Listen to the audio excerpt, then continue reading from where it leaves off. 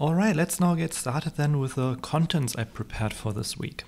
I thought I would start with a short teaser what you will be able to do after this course. Of course, it's a long journey, 15, uh, 15 weeks in the future, but at some point you will be able to accomplish something really cool with deep learning, things you will learn in this class. So here are a few examples of class projects that students worked on in the previous semesters.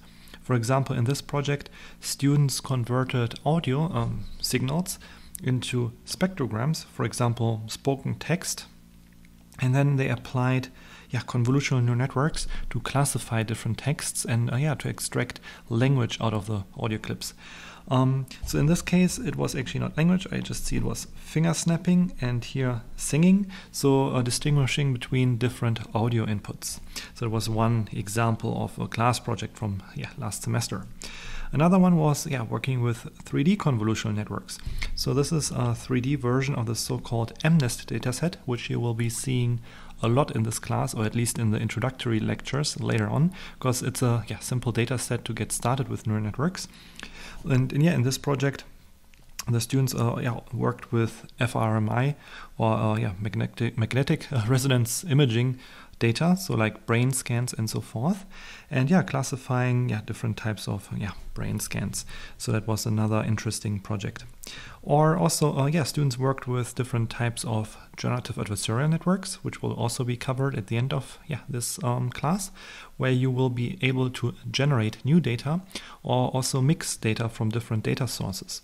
So here, the students uh, yeah mixed artistic paintings or photographs artistic inputs with uh, um, yeah, portrait of a photo model. And then the output was basically here shown on the right hand side like uh, a portrait of a person mixed with the different styles. So this would be an example of yeah, style transfer. Um, yeah why did I pick these uh, three projects? That was kind of arbitrarily. Um, it was just something, yeah. So I looked at the projects from last semester, to be honest, and looked at which ones had, yeah, nice uh, figures. So in that way, uh, it looked nicer on slides. But of course, you are free to work on whatever you like for your class project, and I will talk more about that later. I don't want to overwhelm you with too many things uh, at the beginning just wanted to show you some examples of things you will be able to accomplish at the end of the semester. Um, yeah, also, if you're interested, uh, a little bit about my research. So I'm working a lot on uh, machine learning and deep learning. So also, yeah, just compiled an overview here of uh, projects I worked on. So yeah, just to also introduce myself and what I'm interested in.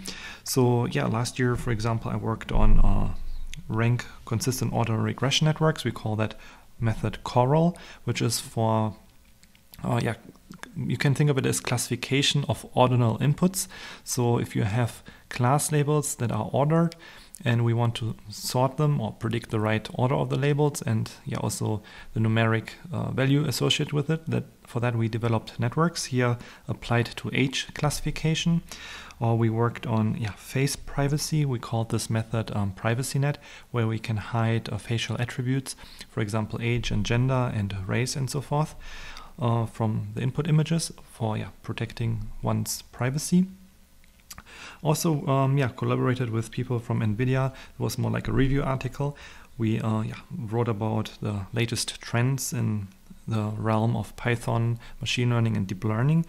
Uh, in particular, the focus on GPU memory. And that's also something we will be talking more about later when we talk about the tools that we will be using for this class.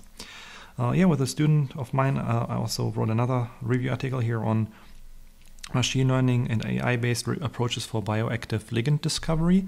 So uh, yeah, one of my students is working on yeah, small ligand discovery and synthesis, also using generative uh, models, generative deep learning models for yeah, in the context of yeah, molecule, uh, molecular synthesis and design. And yeah, another student of mine is working on few-shot learning. So few-shot learning is yeah, a branch of deep learning that is concerned with uh, learning from small data sets. Most of the time people use yeah, meta learning or transfer learning.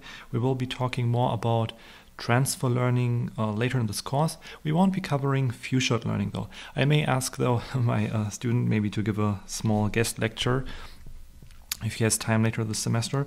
And Zhongji, here who was uh, working also on this paper, he is also our TA in this semester. So if you are interested, you can uh, ask Zhongji more about different few-shot learning approaches, and he would be very excited to ch chat more about you, uh, more with you about that. I think so. During office hours, if you have questions about few-shot learning, I think he would be excited to talk more about it because he's always excited to talk about it. Yeah, and lastly, I'm also um, yeah working on some traditional machine learning methods. Um, so this was in a collaboration. Uh, where we used uh, not deep learning but yeah traditional machine learning methods in this case uh, nearest neighbor methods for yeah also predictions related to computational biology so here this was concerned with um, the structure of a GPCR which is a G protein coupled receptor that is yeah a very uh, important protein or protein receptor. It's a, a, binding to small molecules in humans, and yeah, most most drug targets are actually targeting GPCRs. But here, this was more like um, yeah, fundamental computational biology research analyzing the structural um, yeah composition of these proteins. So this is just a, a, little bit about me. So you can probably see a, a theme is that I like working on deep learning and also have some interest in computationally uh, computational biology applications. So these two are basically my uh, main research areas and things I'm really excited about. Okay, but now let's talk more about the course. So uh, yeah, for this course, uh, I planned lots of topics. Uh, so mainly deep learning and generative adversarial ne networks like uh, yeah, like the course title suggests. And I structured this course into five parts. So here are parts um, one, two, three, and on the next slide I have some more parts, the remaining two. So first in the introduction, that's where we are right now. I wanted to give you a brief overview of this course and yeah, also introduce machine learning and deep learning. That's what we are going to do this week. Then I uh, want to also briefly, uh, briefly talk about the history of deep learning, and I think that's interesting because that helps you understanding like where the things and motivations are coming from. Because yeah, deep learning, uh, the term deep learning is relatively new. It yeah emerged about ten years ago, but um, it has a long history. Because yeah, deep learning you can think of it as a fancy term for neural networks and neural networks have been around for at least 60, 70 years. And there are yeah, some ideas that emerged very early on that motivated uh, the development of different later uh, ideas later on. And we will be covering a lot of things related to neural networks. So in this um, this lecture, you can think of it as the the big picture overview.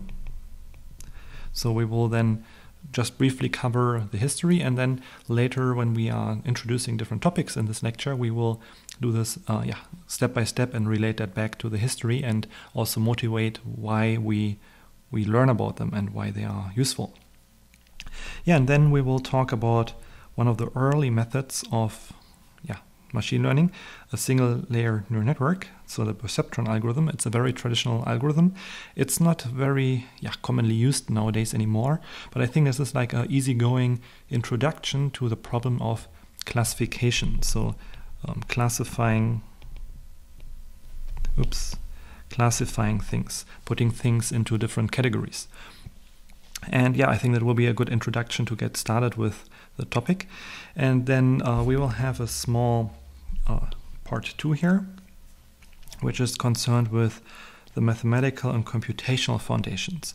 So with that, I mean like introducing some mathematical um, yeah, necessities like linear algebra. So in deep learning, linear algebra is usually used to yeah, express things more compactly.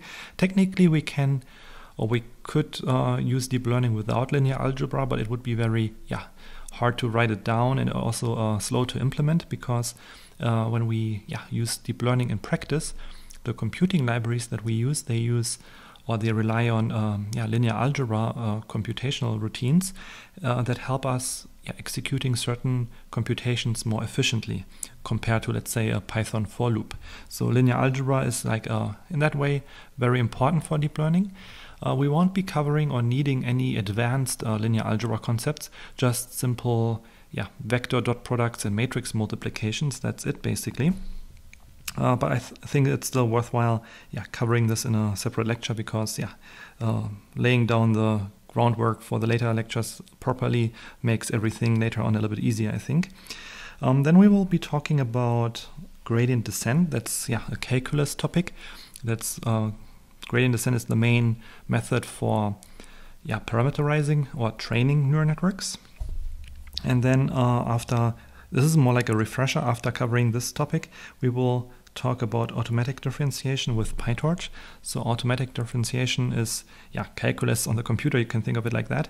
And we will be using a tool called PyTorch, which is a library for yeah, linear algebra, um, automatic differentiation, and then also uh, neural network training or deep learning. And it also allows us to implement things on the GPU to make things more efficient. So I will also explain then here in uh, lecture 7 how you can use uh, cluster and cloud computing resources. It will be a relatively short uh, part though, because yeah, the main the main uh, topic is deep learning. Uh, of course, computational aspects are necessary, but for this introductory class, um, you don't have to necessarily be an expert programmer and or yeah user of computers. You should be familiar with certain things on your computer and certain programming aspects. But yeah, um, we are not here in machine learning engineering, more like uh, giving a conceptual overview. So you will get by with um, some free resources that I will talk about in, in this lecture. But if you're interested, you can of course also use more advanced uh, resources, for example, our uh, campuses, HTCC, and so forth. But it won't be required for this class.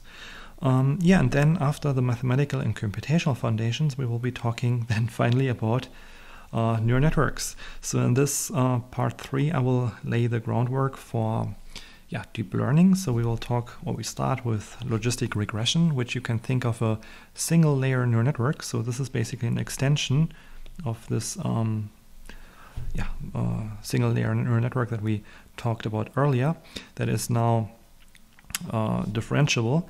And using the logistic regression as a starter, we will add additional hidden layers, making this a deep network, which is also called a multi-layer perceptron. And then we will learn how we can train such a uh, multi-layer perceptron using the backpropagation algorithm. Um, then parts here, parts 10 to 12, are more like tricks for training deep neural networks. For example, regularization techniques to avoid overfitting, um, yeah, input normalization and weight initialization. It's just yeah, making training neural networks more robust and faster. And then also talking about um, learning rates and uh, yeah, some advanced optimization algorithms. So like fancier versions of gradient descent essentially. And these are really kind of necessary to make neural networks work well in practice. These topics may not sound super exciting, especially like 10 and 11, but they are super useful or important even yeah, to make neural networks work well. And then uh, we will get to the interesting parts in this course, or I would say the more advanced parts. So here in part 4, we will then be talking about deep learning for computer vision and language modeling. So we will spend uh, yeah, a lot of time on convolutional networks. So this is one big topic. And then we will also talk about recurrent neural networks. They are for language modeling. So convolutional networks are more for image modeling, although you can also use a one-dimensional convolutional network for text. Um, but yeah, text will be more uh, focused on in lecture 15. And these will kind of also lay the groundwork for the deep generative models that we will be talking about. So uh, in terms of deep generative models, we will be talking about autoencoders, so-called variational autoencoders. Um, then we will talk about generative adversarial networks. You may already have heard of them as GANs. So it's just a long form of writing GAN, generative adversarial network. Um, then this is also a very big topic. We will have a, two lectures on that. So one introduction and then one on some more advanced uh, GANs for example, the Wasserstein GAN, and then also how we can evaluate and compare different GANs to each other. Because now, um, in this part, we are focused on prediction. Oops. prediction. And um, and in the second part here, we are focused on generating things. So it's a little bit different. It's a little bit trickier to evaluate these models. So we will have a lecture on that. And then uh, I also plan to cover some aspects about recurrent neural networks for generative modeling, for example, generating new text um, using uh, yeah or in a sequence to sequence context. So here in lecture 15 I will first try also to focus only on the prediction parts, but we will be revisiting this topic also for yeah generating new data on text and then also going into a more advanced topic adding the so-called attention mechanism to RNNs and then also explaining self-attention in the context of transformers, which are yeah underlying the models um, that you have heard about in the media probably. One is called BERT or GPT-2 and GPT-3. So these are the building blocks of these models. So we'll also talk about those.